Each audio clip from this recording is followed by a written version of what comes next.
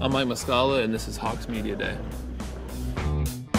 I've been working hard on my game, uh, trying to improve my range and just be more consistent on the offensive end and smarter defensively, less fouls, and um, you know more of the same. Hopefully, there's a lot to look forward to, and um, this is exciting for me. It's the mark of the start of training camp and another year.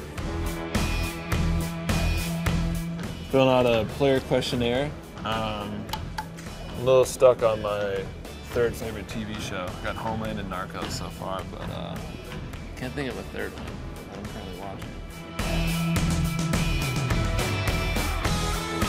I play FIFA, video game, um, watch TV shows, I golf.